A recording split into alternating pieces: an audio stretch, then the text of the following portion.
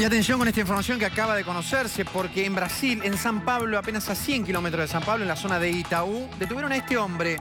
Este hombre es Daniel Maguila Pucho, el último, uno de los últimos integrantes del clan Pucho, eh, ese clan que perpetró secuestros a empresarios durante la década del 80, uno de los clanes más temibles en ese caso, fue detenido hace minutos nada más en Brasil, eh, decíamos, en la zona de San Pablo, cerca de San Pablo. Este hombre se había ido a Nueva Zelanda cuando empezaron los secuestros, pero volvió a la Argentina para concretar el último de los secuestros. Bueno, este hombre fue detenido en Brasil con documento falso. Es uno de los integrantes, repetimos, de ese clan que secuestró y mató a muchos empresarios durante los 80.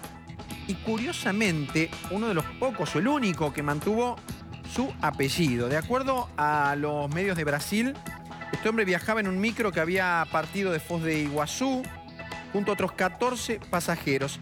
Este hombre de 58 años justamente fue retenido en un control, en un operativo antidrogas. ¿eh? Lo detuvieron justamente como fugitivo, iba en este micro y se confirmó justamente eh, su detención a través de eh, fuentes policiales de Brasil. Fue muy distinta a la caída anterior y en este caso justamente este hombre es el detenido. Esta noticia, por supuesto, es una noticia en desarrollo que acaba de, trascender. Lo que dicen ahora también es que la policía subió al micro para hacer una inspección operativa antidrogas. Había 15 pasajeros.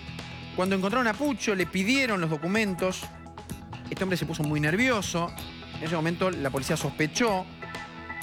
La foto del documento no coincidía con la que el sistema tenía registrado bajo ese otro nombre. Sus papeles resultaron ser falsos y lo detuvieron. Lo único que trascendió justamente es que él dijo que tenía identidad falsa porque pensaba quedarse más tiempo en Brasil.